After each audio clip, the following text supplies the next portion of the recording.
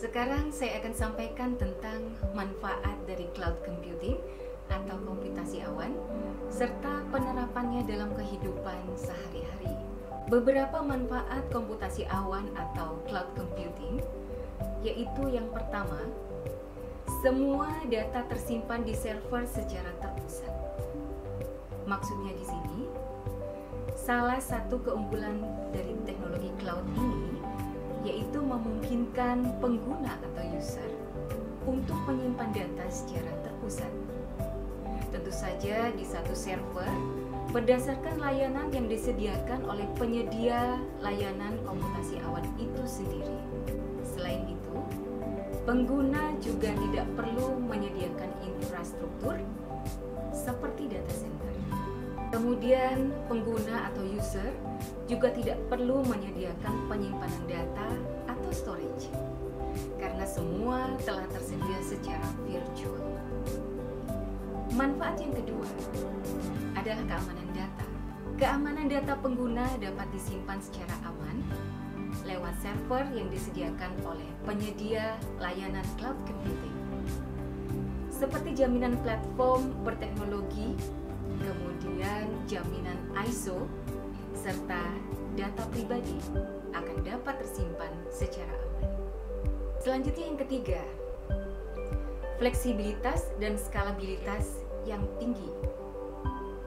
Di sini maksudnya, teknologi cloud akan menawarkan fleksibilitas dengan kemudahan data akses kapan dan di mana pun kita berada bahwa pengguna atau user terkoneksi dengan internet. Selain itu, pengguna juga dapat dengan mudah meningkatkan atau mengurangi kapasitas penyimpanan data tanpa perlu membeli peralatan tambahan tentu saja seperti hard disk.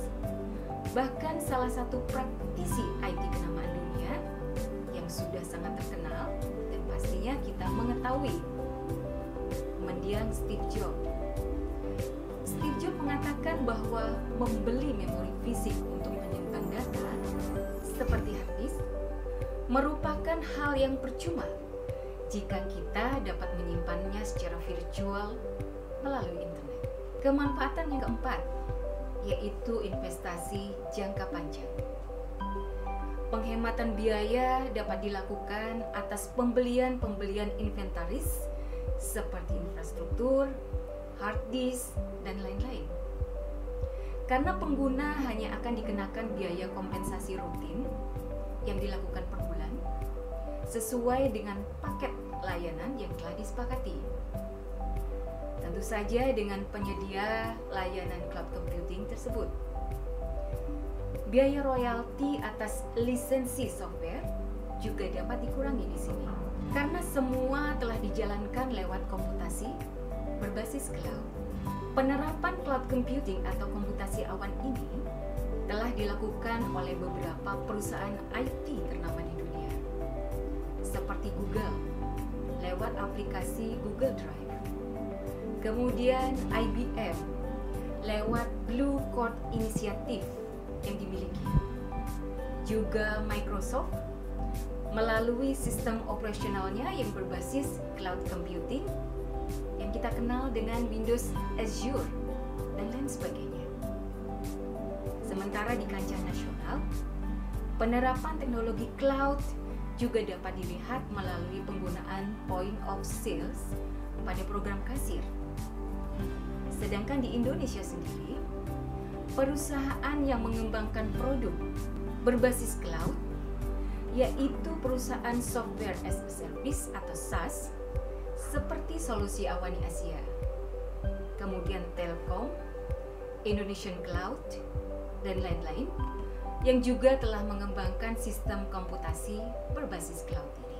Solusi Awani Asia yang merupakan grup dari Authentic Venture Sendirian Berhad telah melakukan beberapa kolaborasi dengan perusahaan-perusahaan nasional dan multinasional di Indonesia melalui solusi Awani Asia Collaboration tentu saja. Dan program ini diarahkan untuk perusahaan-perusahaan seperti UKM, kemudian koperasi, anak-anak perusahaan BUMN, anak-anak perusahaan BUMD, serta perusahaan-perusahaan nasional dan multinasional.